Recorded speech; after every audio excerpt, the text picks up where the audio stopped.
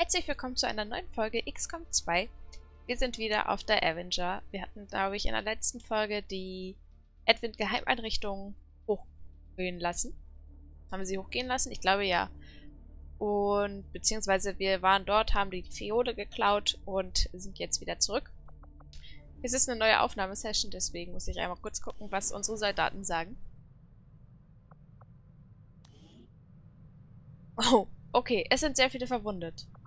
Wir haben gerade mal ein, ein, eine Mannschaft zusammen mit zwei Rekruten. Das ist okay. Ist nicht so optimal, aber gut. Lässt sich jetzt nicht ändern. Ja, äh, wir gehen einmal mal gucken, ob wir noch irgendwas herstellen können. Wir haben ja jetzt wieder neue Vorräte. Was kann ich für Sie tun, Commander? Äh, Gegenstände herstellen. Das ist die Truppverbesserung. Nanoschuppenweste, nee. Gucke ich mir nochmal die Forschung an. Da ich noch nie einen Fuß in eines dieser Stadtzentren gesetzt habe, hatte ich noch nie einen dieser Advent-Burger, von denen man immer wieder hört. Aber niemand scheint die unbequemen Fragen zu stellen. Zum Beispiel, wann jemand überhaupt das letzte Mal eine Kuh gesehen hat. Hallo, Commander. Wir kommen gut voran, aber es wird noch etwas dauern, bis meine Forschungen abgeschlossen sind. Wir haben also aktuell die Muton-Autopsie. Das müssen wir dringend machen. Wir müssen auch wirklich, wirklich dringend ähm, den Testbereich bauen. Ach, das läuft. Wann ist er denn abgeschlossen? In vier Tagen. Okay, dann habe ich gar nichts gesagt. Wir gehen auf die Brücke und schauen mal, ob wir neue Einsätze haben. Ach ja, jetzt wird erstmal das Avatar-Projekt reduziert. Wir haben es ja geschafft, diese eine Einrichtung. Ihr Einsatz zur Zerstörung der Alien-Geheimeinrichtung ist sehr löblich. Aber das Schlimmste steht uns erst noch bevor, Commander. Wir müssen wachsam bleiben. Wo haben, haben wir denn Einrichtungen? In Ostamerika und in Neu-Chile. Die sind natürlich sehr weit weg. Das ist äh, nicht gerade das Beste. Aber okay, wir werden jetzt hier nochmal die Informationen scannen. Avenger berechnet neuen Kurs. Oh, wir haben sehr wenig Infos. Ja, das ist äh, dringend. Müssen wir dringend machen. So, dann gucken wir uns den Raum mal an. Wow, wir haben gerade so viele... Was haben wir hier? Die Guerilla-Taktikschule. Das Kriegszentrum. Da kommt der Testbereich hin. Hier haben wir eine Werkstatt.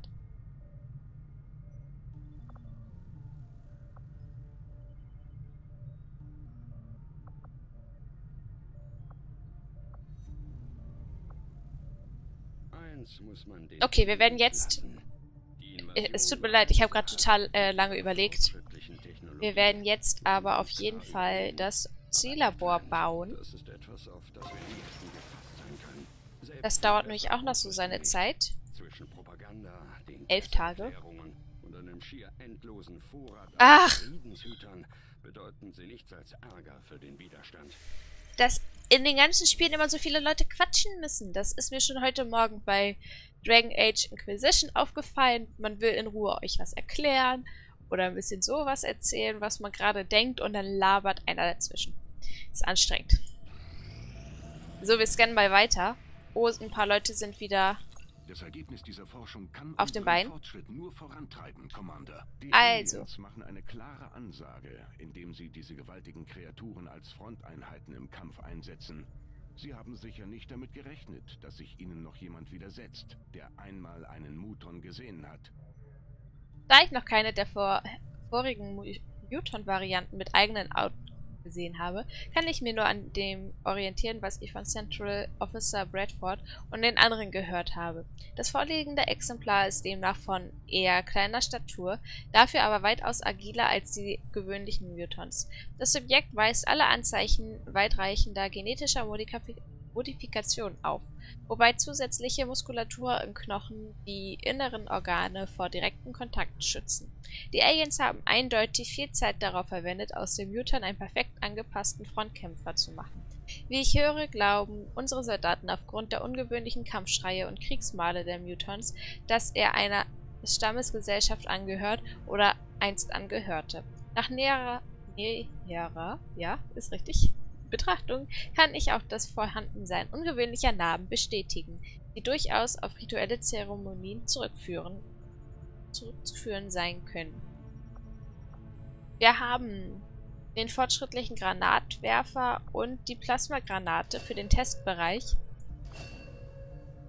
Der Testbereich ist leider noch nicht fertig. Wir werden jetzt natürlich sofort die Mech-Analyse machen. Diese von Advent entwickelten Roboter scheinen völlig autark zu agieren und festgelegte Ziele selbstständig anvisieren und angreifen zu können, ohne dabei auf externe Verifikation angewiesen zu sein. Und obgleich die erste Demontage meine Aufgabe sein wird, plane ich fest damit, Shen in diesen Prozess zu involvieren. Denn ihre Kenntnisse der Robotik übersteigen meine bei weitem. So. Advent setzt da draußen unzählige von diesen mechanischen Einheiten zur Friedenswahrung ein. Soweit ich weiß, sind sie vollautomatisiert und bis an die Zähne bewaffnet. Nach unserer ersten Analyse muss ich annehmen, dass der Advent Mac zumindest teilweise auf dem Design des Sektopoden basiert, einer ähnlichen autonomen Kriegsmaschine, jedoch ohne biologische Komponenten. Soweit ich es beurteilen kann, soll die Advent-Variante vermutlich weniger furchteinflößend wirken, um besser zum Erhalt der städtischen Ordnung oder zur Friedenswahrung in direkter Nähe von Zivilisten eingesetzt werden zu können. Diese Fassade kann nur dank der sorgfältigen Tarnung über den gesamten über die gesamte Maschine verteilten Waffensysteme gewahrt werden. Ich glaube kaum, dass die Bevölkerung so ruhig reagieren würde, wenn sie vom Mikroraketenwerfer wüsste, der mit dem Advent-Netzwerk verbunden ist, das in Mikrosekundenintervallen die Gesichter in der Menge scannt. Und wir haben den Gremlin Mark II. Der Gremlin Mark II ist eine verbesserte Version der Standard-Gremlin-Drohne. Damit wird nicht nur der Heckwert unserer Spezialisten deutlich erhöht, auch viele Fähigkeiten des Spezialisten werden mit einem fortschrittlichen Gremlin effektiver. Und das Bluescreen-Protokoll, das ist auch erst für den Testbereich. Natürlich weisen wir noch eine Forschung zu. Wir machen jetzt nochmal die die Geschütze, die Advent in ihren Einrichtungen und an Sicherheitskontrollpunkten einsetzt, sind auf ähnliche Weise automatisiert wie die mechanisierten Alien-Einheiten. Sie haben scheinbar viel Zeit auf die Entwicklung der optischen Sensoren und Zielsysteme verwendet, die Shen nach der Demontage sicher gründlich untersuchen will.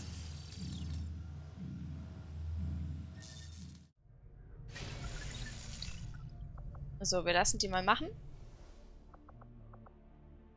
Dann wollte ich jetzt äh, in die Technikabteilung. Da können wir jetzt den Gremlin wiederherstellen. Und den Granatwerfer.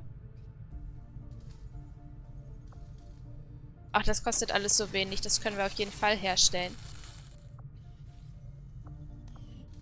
Damit sind wir jetzt schon wieder ein bisschen besser ausgerüstet. Das freut mich. Und ein paar Leute waren wieder auf dem Bein. Genau, jetzt haben wir nur noch drei Verwundete. Und eigentlich könnte jetzt wieder ein neuer Einsatz kommen, aber ich glaube, die nächste Vorratslieferung steht an. Ach, noch nicht ganz.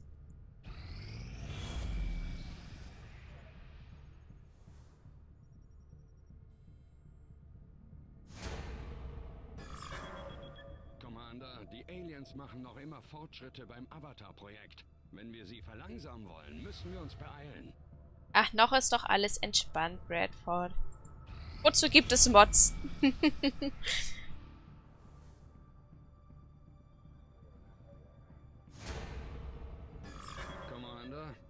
Aliens arbeiten immer noch am Avatar-Projekt.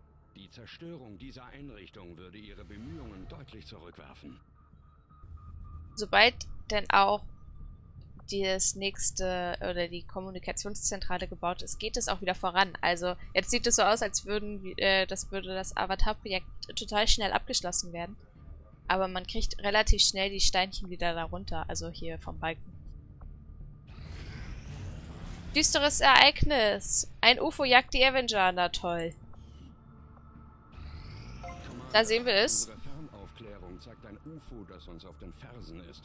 Wir müssen unsere Flugrouten mit Bedacht wählen. Der Testbereich ist bereit, Commander. Wir können den Schädelstecker auf Ihren Befehl bauen. Wir haben endlich den Testbereich.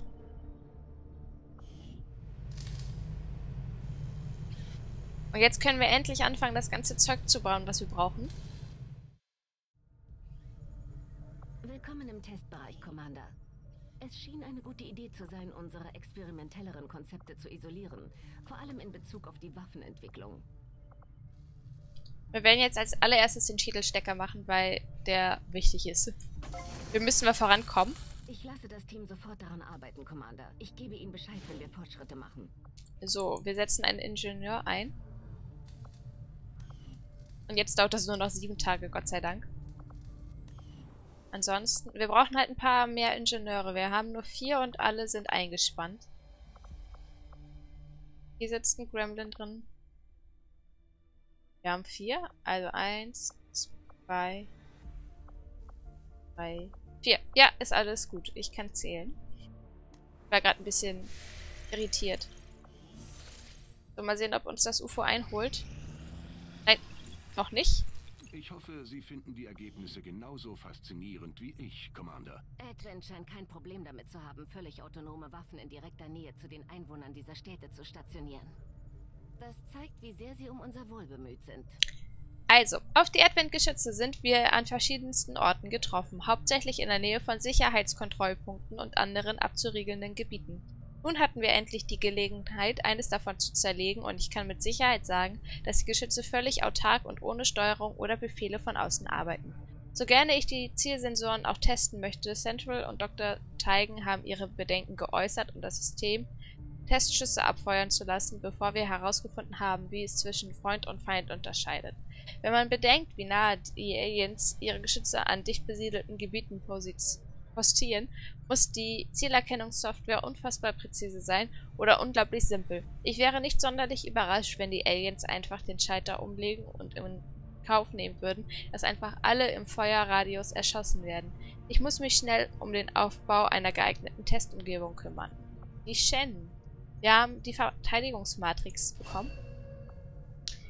Ist ein Raum, den man noch zusätzlich bauen kann.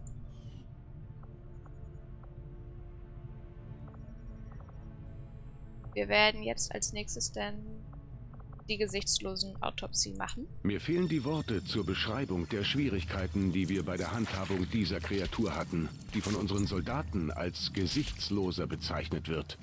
Die unklare Form ihrer physischen Struktur, einschließlich der formbaren, halbfesten Außenschicht, scheint nach dem Ableben der Kreatur langsam zu zerfallen. Sie sondert zudem einen beißenden Gestank ab, der im Lauf der Zeit immer stärker zu werden scheint. Ja, klingt nicht so lecker, die Autopsie. Die klingt echt nicht so lecker. Lass mich bitte auf die Weltkarte gehen. Danke. So. Äh, gleich haben wir die Vorratslieferung. Wir empfangen eine wichtige Übertragung, Commander. Bringe sie auf den Bildschirm. Sie haben im letzten Monat deutliche Fortschritte gegen die Aliens erzielt, Commander. Ich hoffe, dass Ihre fortdauernden Bemühungen weiterhin erfolgreich sind. Also, wir haben einmal Alien-Aktivitäten. Avatar-Fortschritt um 5. Insgesamt. Und wir haben aber auch sehr viel geschafft in dem Monat. Also das ist gar nicht so wenig. Deswegen ist es gar nicht so schlimm, dass der Avatar-Fortschritt um 5 da ist. Also ich finde es nicht so schlimm. Man kann es natürlich auch anders sehen. Ja, hier sehen wir, wie wir es normal, wie es wäre ohne Mod. Da hätten wir noch zwei Balken Platz. Oder Zeit. Aber dafür habe ich ja die Mods installiert.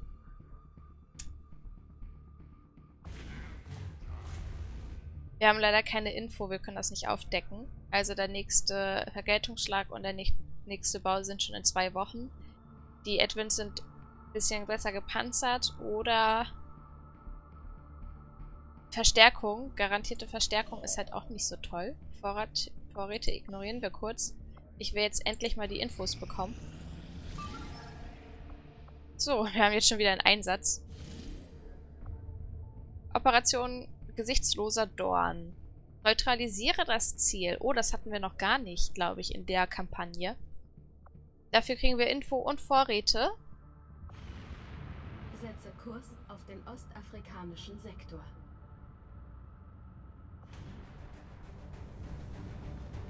Dann schauen wir mal, wer alles so fit ist. Erstmal alle entfernen.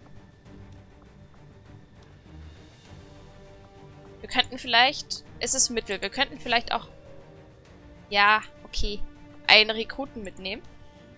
Das machen wir auch mal. Dann nehmen wir den David mit. Dann nehmen wir Ta äh, Kalia mal mit.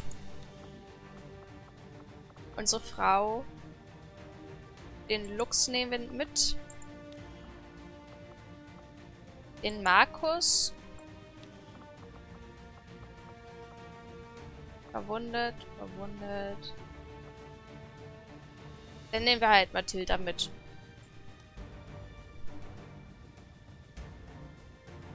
Ja. Den, wir nehmen halt jetzt mal ein paar Leute mit, die wir nicht, oder die ein bisschen hochgelevelt werden müssen. Ich weiß nicht, ob das die beste Idee ist, aber wir haben mittlerweile ganz gute Ausrüstung. Wir kriegen das schon irgendwie gebacken. Ich bin da ganz positiv eingestellt. Also Ausrüstungsstände freigeben. Die kriegt einmal das Medikit. Und... Ach, Granaten kann man nie genug haben. Der Markus ist ein Sniper. Weiß gar nicht, auf was ich ihn geskillt habe. Dann kriegt er auf jeden Fall den Gefechtsscanner mit. Auch eine Granate. Ja. Wir lassen das erstmal so. Lux, können wir dir noch was mitgeben? Nee. Aber wir haben ja jetzt den fortschrittlichen Granatwerfer. Das ist schon ganz cool. So, doch nochmal Ausrüstungsstände freigeben bitte? Ja. Sie kriegt bitte die Nanoschuppenweste an. Und das. Und sie kriegt natürlich die Jägeräxte.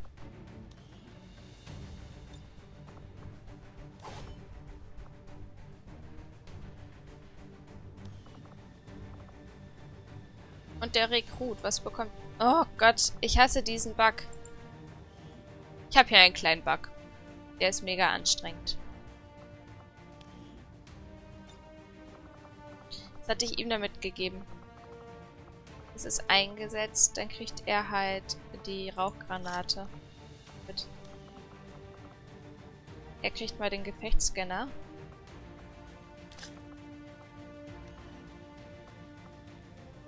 Warum hat sie denn auf einmal...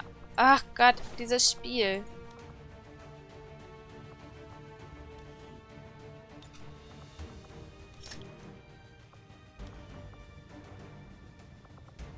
So, schaffen wir das jetzt? Schaffen wir es, dass ich alle ausrüsten kann? Oder... Schaffen wir es nicht?